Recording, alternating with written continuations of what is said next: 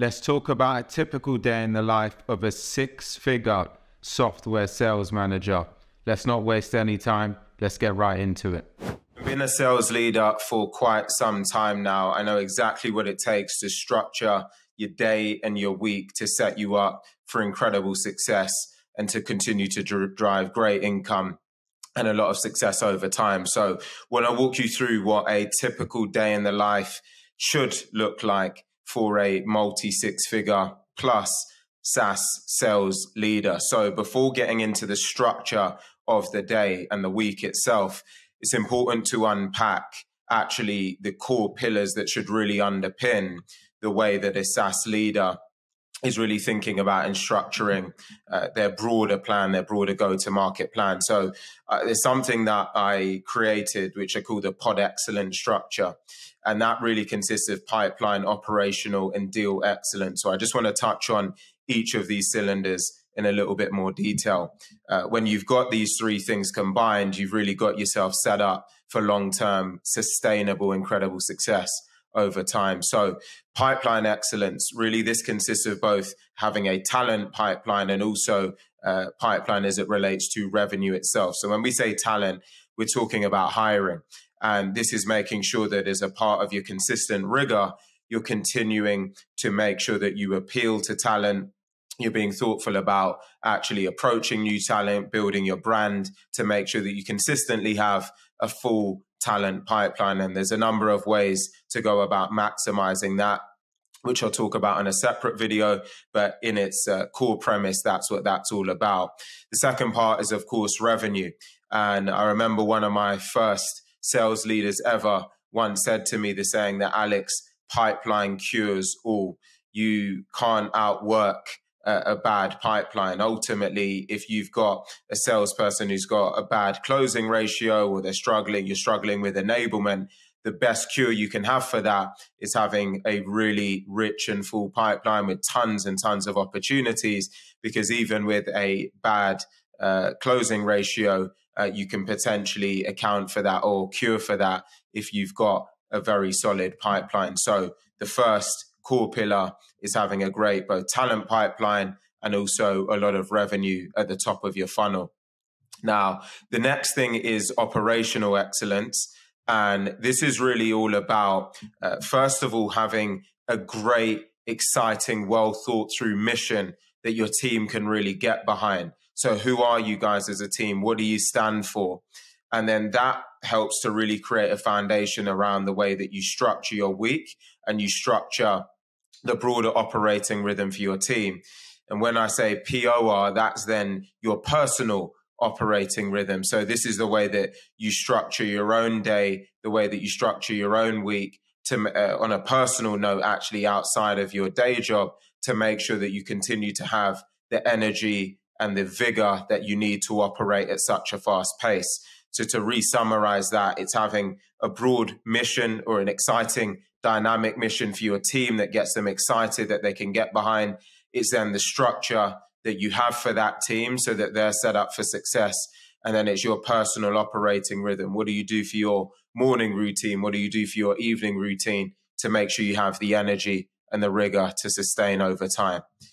The last piece is then deal excellence. So this is really how do you then operate when you're actually driving opportunities and in your deals to make sure that you give yourself the best possible opportunity, give your team the best possible possible opportunity to win all of the deals that they have out there. So this starts with some form of frameworks. Maybe you leverage uh, MEDDIC as your qualification framework, for example, or BANT or spin selling, challenger sell, whatever the case is. You maybe you've created your own. It's what are the frameworks that really give you the best possible, uh, put you in the best possible position to reduce any deal risk and give yourself the best opportunity to win all of the opportunities that are out there. The, the next thing is what I describe as the DNA of the deal. So this is really uh, something that I've created myself, but it's really built on some of the frameworks that I've just spoken about, which really get to the core of what are the fundamental ingredients that we need to understand and unpack to put us in the best possible position to win this book of business. So it's really your form of what are the key ingredients that we need to know, unpack spend time in and invest our uh, uh, mind sharing to put us in the best possible position to win. And then reviews, these are really deal reviews. So this is when you're going over with your team really uh, all of the core fundamentals behind the frameworks and the DNA of a deal to get more eyes on a deal, get more people involved in a deal. Maybe you're bringing solution architects on, maybe you're bringing your VPs on, uh, maybe you're bringing your C suite on that review so that you can all get multiple eyes on the deal and put yourself in the best possible position to win.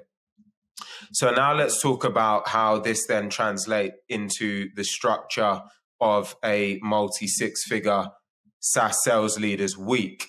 So the way I've always liked to structure this is to break out the week into almost different themes in a way.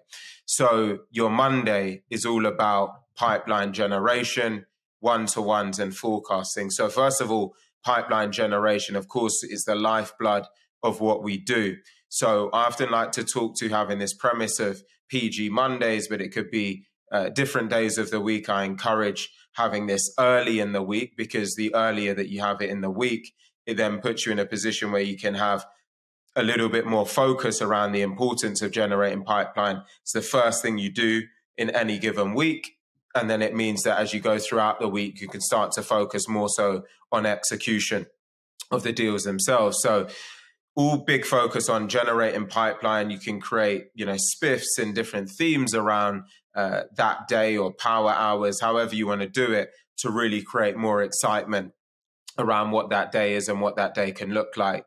You're then also doing your team one to ones. And these are often 30 minutes. I typically do them in 20 minutes and really get straight to the point so that you can really drill down with your team. And I'll, in a separate video, I'll talk about the structure of an effective one to one, but it's really where you're spending time with them to unpack things that are personal and professional, going through with them a good understanding of making sure that you've spent a bit of time on their career, their trajectory, bit about revenue, spend a little bit of time on deals if there's anything pressing, but then also where you would do your forecasting meeting with your team. So, of course, unpacking where they are right now, where they expect to land by the end of the quarter, and start to walk through the reasons why. And again, it's a separate video where I'll talk about an effective forecasting meeting. Now, Tuesday to Thursday, this is where it's all about really customers and deal execution. So, this is where you're bringing in your deal reviews. This is where you're sitting in on customer meetings and also where you're having meetings that are based around internal alignment. So, other departments, whether it's marketing, customer success, other teams within the business so that you can continue to build your brand as an internal stakeholder and also make sure that you've created better bridges with other teams. So when your team need that support, you're in a position where you can immediately call on help and alignment from other people within the company. So what I recommend is that again, you're dedicating most of your time uh, shadowing customer meetings, being in the trenches with your team. And a lot of what we're talking about here is really a structure for first line leaders instead of second line leaders. So when we say first line leaders, we're talking about sales managers, sales directors on the front line directly managing a field team. Whereas in my position now, I'm a VP where I'm looking after sales managers and sales directors, and the way that your week is structured is slightly different to what we're going through now. So the next part is then deal reviews. We spoke a little bit about that earlier. So it's actually having multiple eyes on a deal where you would expect your field seller to come through, produce in essence a, a templatized document which walks through the sales framework that you lead on. So if it was MEDDIC as a qualification criteria or framework, uh, then you would expect that salesperson to come present where that deal maps against MEDDIC.